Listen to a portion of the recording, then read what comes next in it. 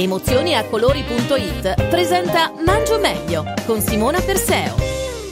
Ci siamo Simo, buongiorno e ben ritrovata qui su Radio Nostalgia. Questo è Mangio Meglio, il programma che ogni martedì fino alla fine del mese vi insegna a vivere meglio con il proprio corpo, ma soprattutto a vivere meglio quando ci si siede a tavola, quindi ad avere un buon rapporto con il cibo. Come sempre con me c'è la biologa nutrizionista Simona Perseo, buongiorno. Buongiorno. E tutti voi che siete pronti all'ascolto a percepire, a captare il nuovo argomento di oggi. Proseguiamo un percorso che abbiamo aperto tre settimane fa, infatti oggi parliamo del magnesio. Sì, il magnesio che è un minerale importantissimo, eh, tanto che è stato definito l'amico della donna, in quanto molti disturbi eh, femminili sono proprio legati alla sua carenza. Infatti nel post di questa settimana troverete eh, dei consigli che sono diretti soprattutto alle lettrici femminili, anche se comunque devo dire che il magnesio è un minerale indispensabile per tutto, mm-hmm. per tutti quanti, scusate, in quanto partecipa a importantissime reazioni metaboliche come ad esempio la sintesi delle proteine, dei grassi, degli acidi nucleici e al metabolismo del glucosio. Gli acidi che?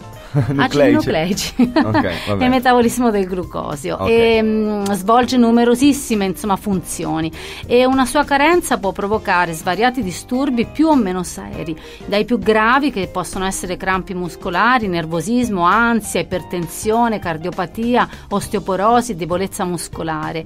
E mh, mm, praticamente una dieta varia e bilanciata comunque è sufficiente per apportare giornalmente le giuste quantità di questo importante minerale. Mm. allora in quali alimenti alimenti si trova il magnesio. Ecco, vediamo quali sono gli alimenti Perché, dove, eh, che quindi se assumete spesso questi alimenti non avete bisogno di prendere dei, dei, degli, degli integratori. integratori certo. Okay. Allora, in, innanzitutto c'è da dire che il nostro organismo non è in grado di produrre magnesio, quindi deve introdurlo necessariamente con l'alimentazione per non risentire della sua carenza. Mm. Allora, si trova principalmente nei semi oleosi, quindi? Mh, mm, semi di girasole, semi di sesamo ad esempio, nelle noci, quindi nella frutta con guscio, noci, mandorle, nocciole, pistacchi e in alcune frutte eh, tipo i datteri, nelle arachidi, nelle banane, nei fichi, nelle mele, in tantissime a frutta. Infatti Esem- dicevano una mela al giorno toglie il medico di Certo, anche.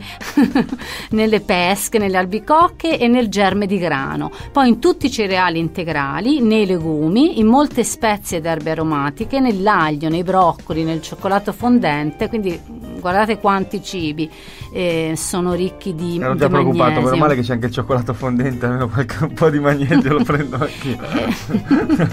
Va bene, dai. Allora, ehm, comunque apriamo una parentesi, è anche per questo che molto spesso si ricerca il cioccolato cioè il cioccolato è buono, eh, dà piacere. Ah, non poi si ricerca solo per la carenza d'affetto? No, è per la carenza di magnesio. Anche per la carenza di magnesio. Amici, amiche all'ascolto, quando vi dicono è carenza d'affetto, no, è carenza di magnesio. Rispondeteli così e vedrete che eh, chi vi sta prendendo in giro eh, la smetterà di parlare.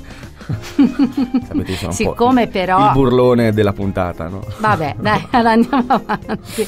Ehm, ne sono ricchi, diciamo che ne sono presenti ecco, anche discrete quantità, per, sì, mi hai fatto, fatto perdere, il filo, filo.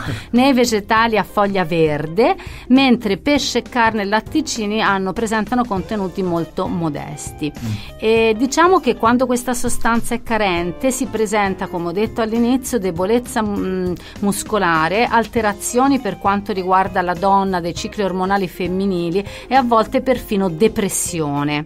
E, mm, diciamo che mh, mm, quando si manifesta questa, questa, carenza, che deve essere sempre chiaramente riscontrata da un medico, okay. a volte può essere anche utile ricorrere a degli integratori, perché se l'alimentazione non è, non è equilibrata esistono anche numerosissimi integratori eh, a base di magnesio. L'integrazione appunto con questo minerale è molto indicata per le donne donne di tutte le età, che siano sportive, giovani, anziane, depresse, eh, durante la menopausa, la gravidanza. È utilissimo ad esempio per attenuare i sintomi della, della cosiddetta sindrome pre, eh, premestruale.